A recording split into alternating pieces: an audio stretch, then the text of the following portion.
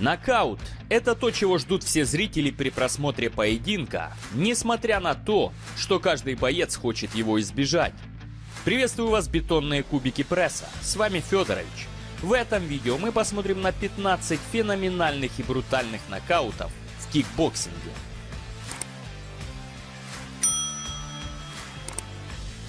Бывают бои, в которых преимущество одного бойца над другим слишком очевидно – вот тогда мы можем увидеть нечто необычное. Точно так и случилось в феврале 2017 года, когда Анпо перебивал в одну калитку Хусомачи, пока не отправил его феноменальными ножницами в глубочайший нокаут.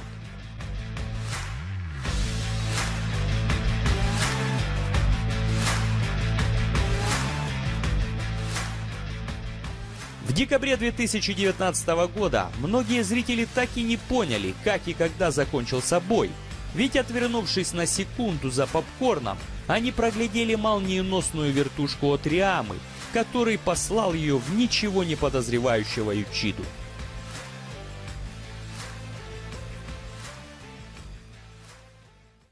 Турнир K1 предоставил миру много топовых и фантастических бойцов и еще больше невероятных поединков с их участием.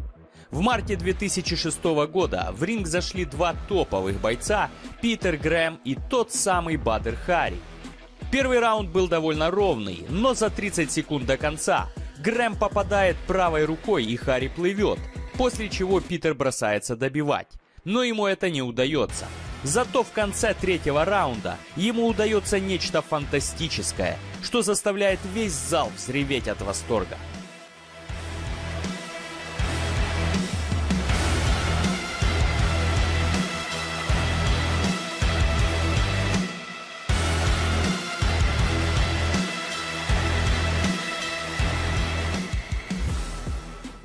Есть бойцы, которые просто не могут спокойно работать в ринге. Им нужно шоу.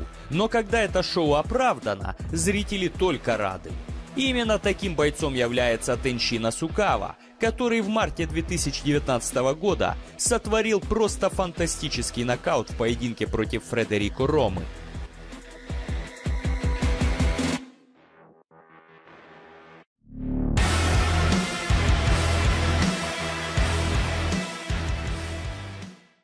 Иногда поединки превращаются в настоящую войну.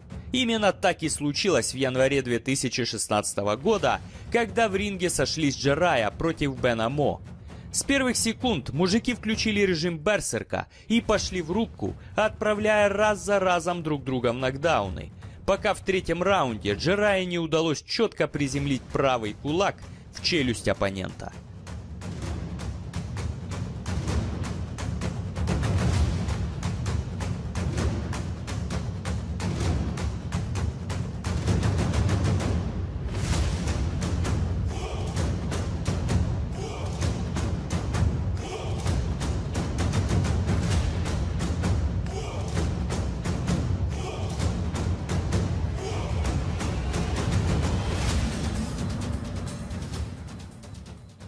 Декабре 2016 года все фаны единоборств имели возможность в очередной раз убедиться в том, что в бою голубка удачи тоже имеет свой вес.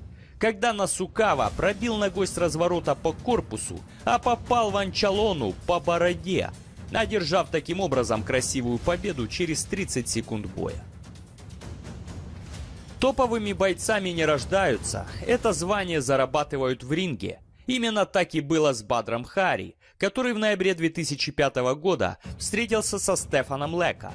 Этот бой не привлек большого внимания, но после фантастического нокаута от Хари все, кто не пришел, точно пожалели. А Бадр заявил о себе как о топовом бойце на ближайшие 10 лет.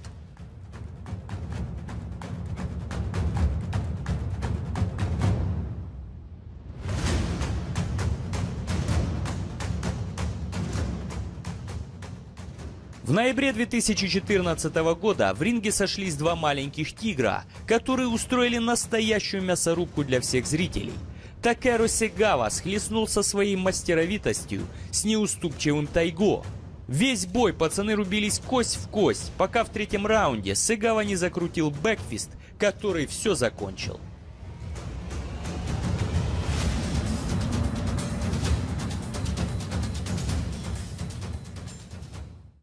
Сентябре 1994 года в Амстердаме легендарный Питер Айртс встретился в ринге со своим земляком Робом Вам Эсданком. Это была их третья встреча, поэтому оба бойца хорошо друг друга знали. Но это придавало поединку еще больше интриги. Во втором раунде Роб провел отличную серию и Питер упал, но поднялся и продолжил бой, после чего в конце этого же второго раунда очень сурово наказал обидчика отличным хайкиком.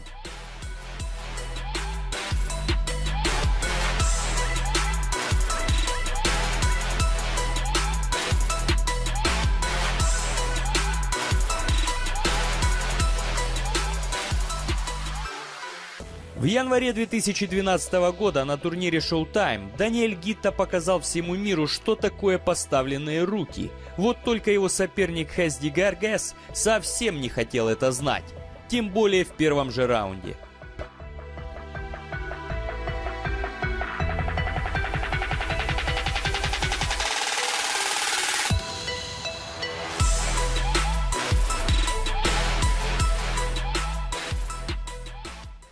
В июле 2010 года в ринге сошлись Кубо против Яцумото, что обещало зрителям отличное шоу и хороший замес. Но, к сожалению, фаны замеса так и не дождались. Хотя взамен получили красивенный нокаут хайкиком от Яцумото в середине первого же раунда –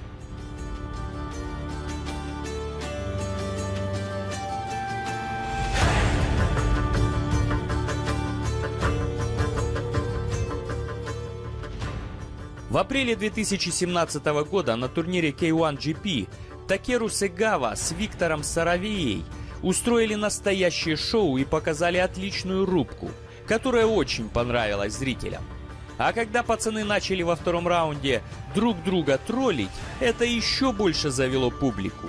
Ну и, конечно, жирная точка от Такеру в третьем раунде была вишенкой на торте.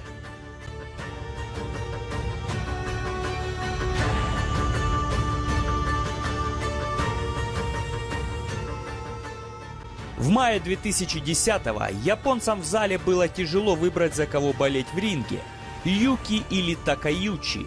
Поэтому они просто наслаждались поединком, пока во втором раунде Юки не отправил своего оппонента в нокаут отличным хайкиком на выходе из клинча, заслужив благосклонность толпы.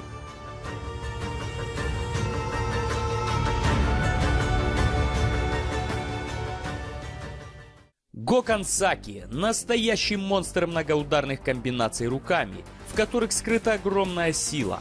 Отработал парочку из них в ноябре 2010 года на Фредди Кемайо, которому не посчастливилось выйти против него в ринг. Три нокдауна, остановка от рефери и неделя на аспирине для Фредди.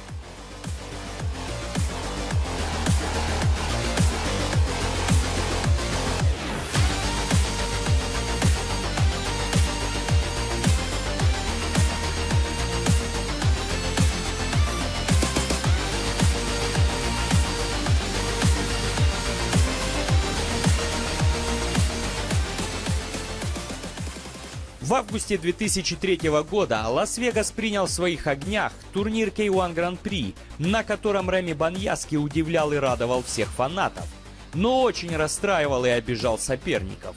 Вернон Уайт испытал на себе летящие удары, от которых непонятно как можно защититься, закончив избиение в первом раунде.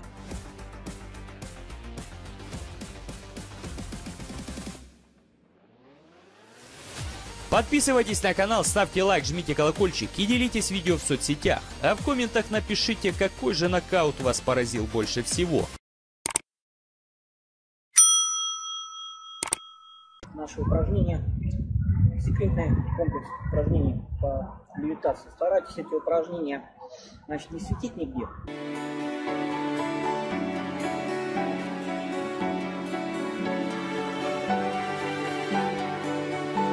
Шарики солнечные. Слепил. Вставил.